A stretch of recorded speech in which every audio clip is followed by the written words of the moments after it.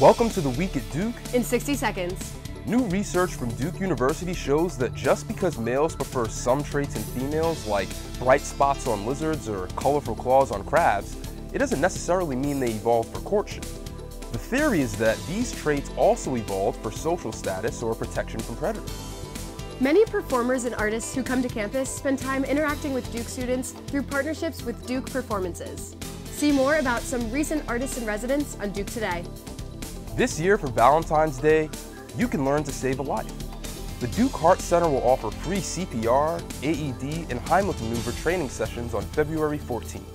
Sign up on today.duke.edu slash working.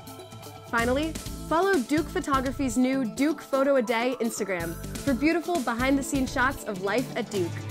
For more Duke news every day, Visit Duke Today.